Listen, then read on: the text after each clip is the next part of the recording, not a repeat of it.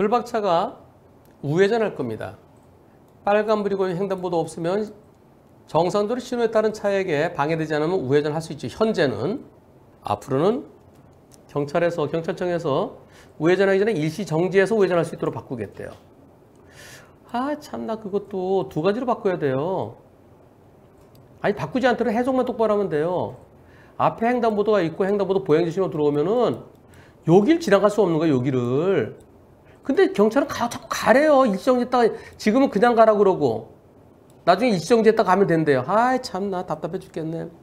그렇게 지금 법을 도로교통부 시행 규칙을 개정하고 있어요. 아직 시행은 안 됐어요. 대법원 판결과는 전혀 동떨어진 아, 왜 그런지 모르겠어요. 빨간불에 우회전할 수 있다는 것은 여기 횡단보도가 없을 때 얘기입니다.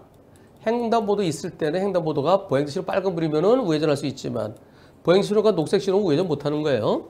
근데 이것은 보행자 신호가 보행자가 횡단보도가 없어요. 우회전할 수 있어요. 그런데 저쪽에 오토바이 간데 있습니다. 여기 여기 여기 여기 좀 아, 여기 있다 여기 있다. 아 여기 여기 있네 여기 요거 요 오토바이. 좌회전 쪽이 아니라 우회전 쪽에서 정선보다 이만큼 튀어나와 있어요. 이만큼. 예. 이만큼 튀어나온 요 오토바이랑 나중에 문제가 생겨요. 어떤 문제가 생길까요? 같이 보시겠습니다. 자, 똑각, 똑각, 똑각, 똑각. 자, 오른쪽으로 해서 어, 오른쪽에 오토바이 피해서 자, 이제 지나가는데 저 오토바이가 저 앞에까지 나와 있어요. 가운데까지 나와 있어요. 나 가요. 가는데 꽝.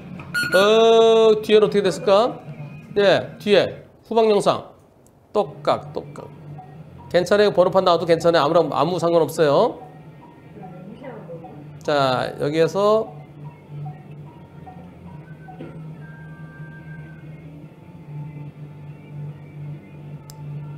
자, 외전 들어가는데 부딪히 사고 났죠? 네, 차들은 이제서 여기까지 옵니다. 이제서. 오토바이가 앞으로 많이 나와 있었기 때문에 다른 차들 신호 바꾼 차들은 아직까지 여기 근처도 오지 않았어요. 근데 이 사고에 대해서 어떻게 얘기되고 있을까요? 지금 저 오토바이는 정선을 이만큼이나 침범했고 자기는 좌회전 신호 보고 왔다. 그래서 자기는 신호에 따른 좌회전이다. 그래서 불박차가 신호에 따른 좌회전에 방해되지 않아야 되지 않느냐. 비보호 우회전인데 나 신호에 따라갔는데 왜 나를 나랑 붙였어? 그래서 불박차가 가해 차량이라고 그럽니다. 그러면서 불박차 과실이 80%래요. 좌회전 차로가 아닌 오른쪽 차로에서 중간까지 나와 있던 오토바이가 자기는 내시로 떨어져서 왔대요. 불박차 80% 이상이래요. 어떻습니까, 여러분들은? 네, 신호 받고 왔을 가능성이 있어요. 네, 네, 다 신호 보자마자 바로 튀어나왔을 것 같아요. 누가 더 잘못일까요? 불박차가 더 잘못일까요? 오토바이가 더 잘못일까요? 오토바이 100% 잘못일까요? 투표 시작. 그렇죠. 저 오토바이까지 신경 써야 될까? 네. 저 멀리 있는 오토바이? 불박차가 더 잘못이라는 분이 계시네요. 4%. 오토바이가 더 잘못이라는 게 58%. 오토바이 100%라는 얘기는 38%. 저는 오토바이 100% 가능성이 상당히 높아 보입니다. 저 오토바이가 보일까요? 여기에서 이게 보일까요? 빨간 불이니까 나 이쪽으로 해서 가야지 이쪽 신경 쓰는 거죠. 저 오토바이가 눈에 들어오겠습니까? 나중에 블랙박스 보니까 있는 거죠. 그리고 갑니다. 똑각, 똑각, 똑각.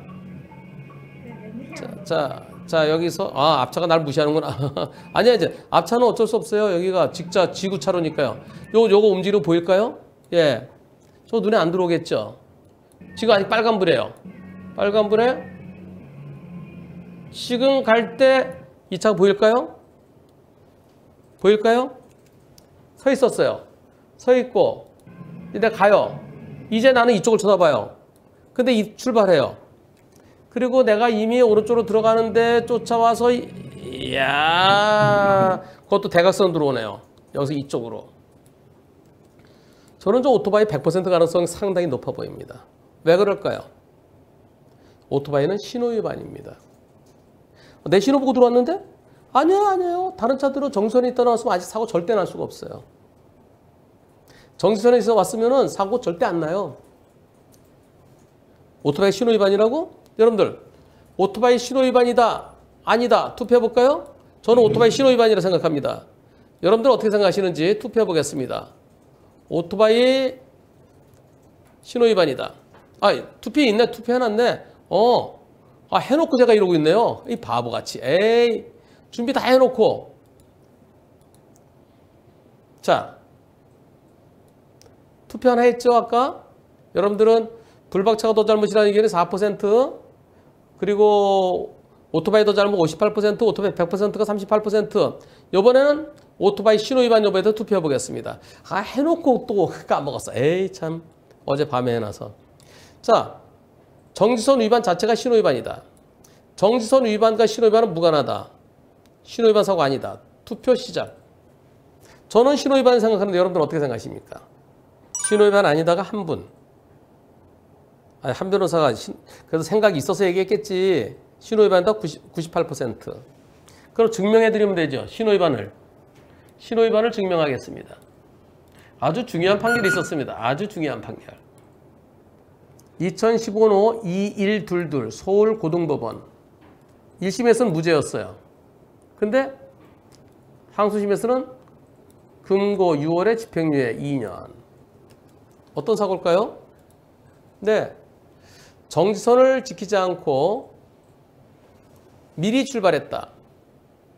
검사가 검사가 1심 무죄라고 그랬는데요. 아니 정지선 지키지 않았잖아요. 미리 앞으로 나와 있었잖아요. 잘못이죠. 근데 왜 무죄를 했어요? 보겠습니다. 정지선을 넘어서 서 있었다. 그리고 조금씩 조금씩 앞으로 갔다.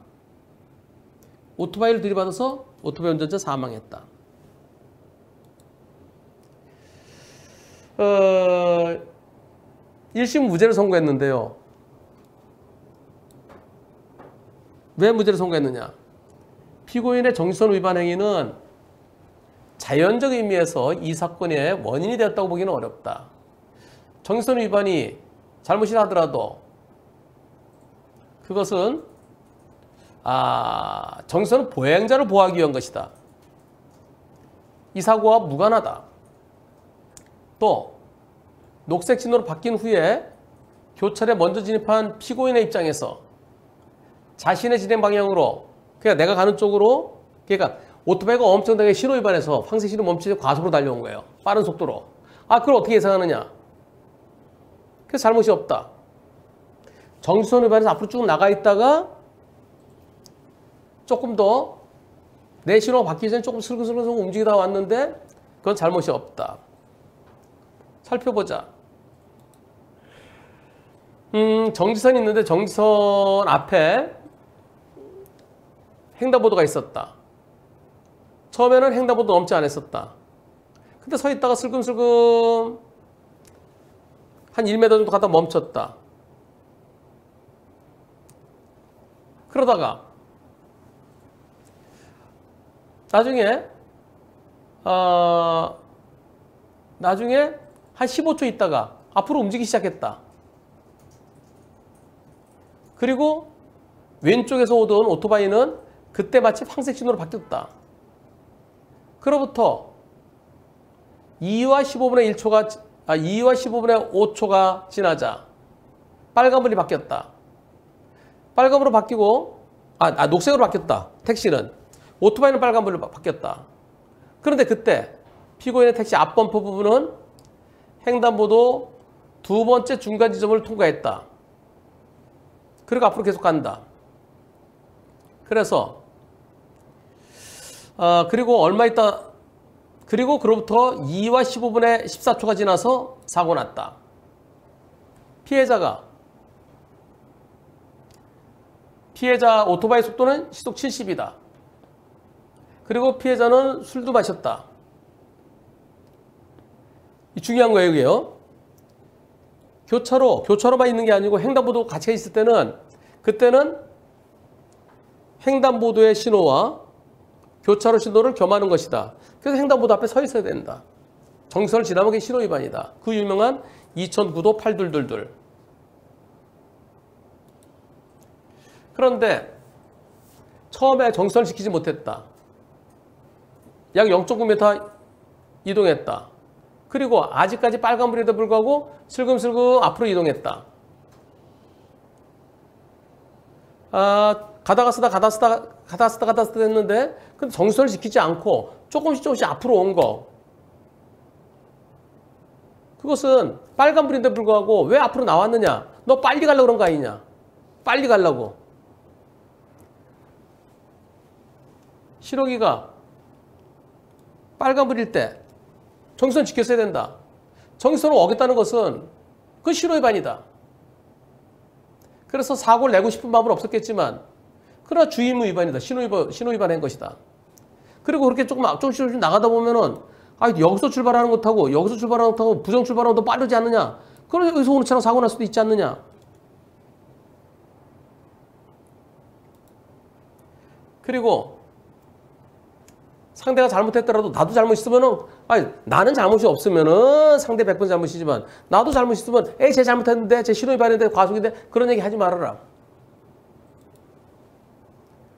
자 이번 사고에 있어서 처음에 0.9m를 이동하고 다시 멈췄고 그로부터 15초 후에 슬금슬금 나갔다. 그리고 5.2초, 도, 2초 동안에 17.8m를 이동했다. 한편 정선을 안 지키 안 지키면은 사고 난다. 정선 지키면은 정선 지키고 정선 지키고 좀 일찍 나갔어요. 정선 지켜서 예측 출발하면은 사고 발생할 수도 있다. 자, 정선도 안 지키고 예측 출발하면 무조건 사고 발생한다. 정선은 지켰는데 예측 출발하면 사고 발생 가능성이 있다. 어, 이 판결문 아주 잘 썼어요. 정말 잘 썼습니다. 그 다음에 정선 지키고 위반해서 위반한 거죠. 정선 신호 신호는 신호 위반해서 선출발이에요. 예. 자 신호를 지켰으면 정선도 지키고 신호 지켰으면 사고 안 난다. 그리고 정상 출발했으면 정상 출발했으면 음 정선 정선도 안 지키고 신호 위반했으면 무조건 사고 난다. 그리고 정선 지키고 정선 지키고 좀 일찍 나가도 사고 날 가능성이 있다. 근데 신호도 지키고 정선도 지키면 사고 안 난다. 또 정선만 지켰으면 역시 조금 일찍 나가도 사고 안 났다. 이렇게 다 분석을 했어요. 그렇다면 정선만 지켰으면 사고 안 났을 거다. 따라서 여기서 여기서 출발했으면은 여기까지밖에 못 오는데 넌 여기서 출발할 때 이만큼 와서 여기서 사고 났다. 이런 얘기예요.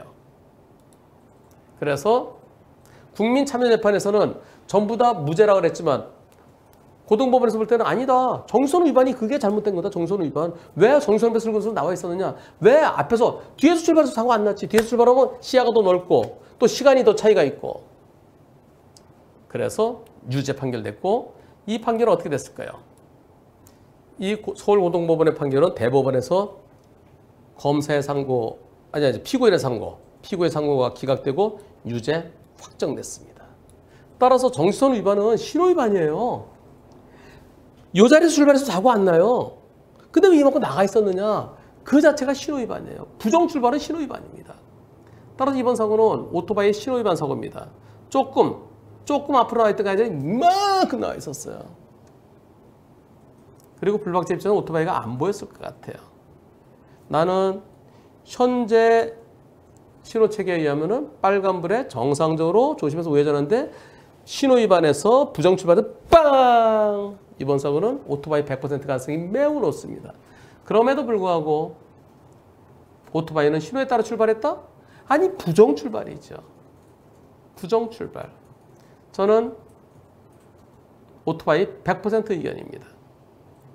물론 혹시 부정 출발한 차가 있을지 모르니까 좀 힐끔힐끔 봤어야지. 네 그런 판사 받는 불박차도 조금 잘못 있다고 할런지는 모르겠지만 지금 같은 경우는 오토바이에 100% 잘못이야 옳겠다는 의견인데요. 한 번 더 보시겠습니다. 오토바이가 어떻게 왔는지. 오토바이 운전자께는 죄송합니다. 그러나 그러나 부정 출발하지 마세요. 자 여기 이만큼 나와 있어 이만큼. 네, 원래는 여기서 나와야 되는데 왜 저기서?